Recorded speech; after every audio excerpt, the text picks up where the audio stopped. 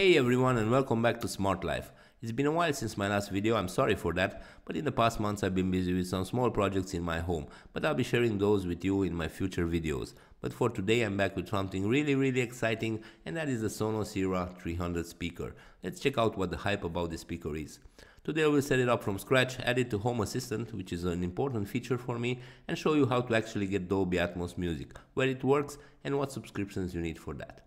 This little speaker is built for spatial audio. It fires forward, sideways and up to create a 3D sound around you. You'll get Wi-Fi, Bluetooth, Trueplay room tuning and optional USB-C line-in adapter. So with all that said, let's set it up. In order to set up your speaker, you'll need the Sonos app. You get that in the App Store or Play Store and install it. Then you'll need to create an account. I won't go through that in this video because it's straightforward. Once you get your account, you'll be in this page right here. You just need to go to settings and add your ERA 300. The system will find it automatically. Then click continue and now it's getting your ERA 300 ready. It will take a bit of time. Next, your ERA 300 will play a chime with an audio pin to temporarily connect your mobile device to it. Just click continue and make sure the phone is near the speaker when you do this.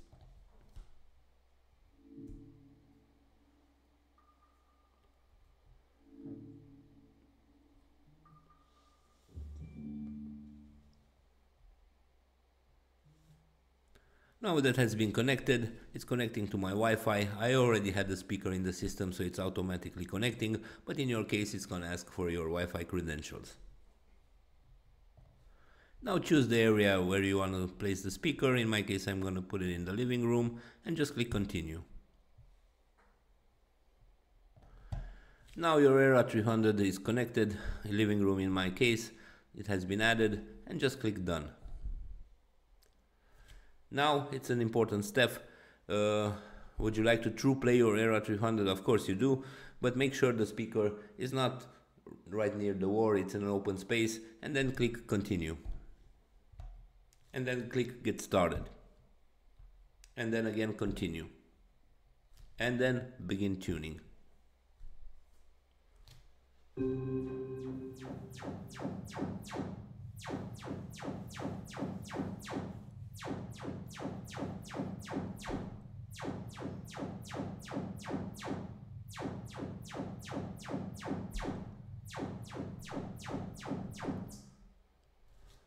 Now it's adapting the sound for uh, the area you set it up to be.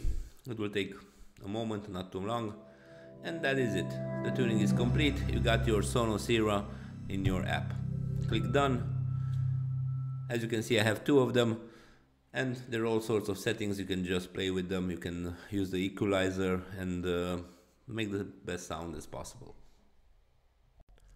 how can you tell if you're really playing Dolby Atmos at your speaker well you can obviously can hear it and you can tell it's not uh, Dolby Atmos but in case you want to make sure you just need to go to in my case Apple Music just scroll down and find the best in spatial audio. You got all sorts of playlists here. Let's try the rock in spatial audio. Scroll down maybe to a song, Tom Sawyer by Rush. And then at the bottom here, you have now playing. Just click on it and you will see the Dolby Atmos logo right here. That means this is Dolby Atmos track. On the next step, let's integrate the Sonos Era 300 into Home Assistant. This is very easy to do. You just need to scroll down to settings, devices and services, add integration, just look for Sonos, click on Sonos, click on Sonos again, and just click submit. Now it's gonna find your two speakers or one speaker if you have just one. You can change the name if you, if you want to and just skip and finish. Then my two speakers are into Home Assistant. For me this is very important because I can do all sorts of automations I have a pretty large house, so in case of a fire alarm, maybe upstairs I cannot hear it, I can put the alarm to sound on the Sonos speaker as well. I can send text-to-speech messages, uh, all sorts of things. Just use your imagination. Alright, that's the Sonos Era 300 setup, tuned, added to Home Assistant. If the video was helpful in any way, please like and subscribe, that will help a lot. Don't forget to comment your experience with Sonos devices. Thank you and see you in the next episode.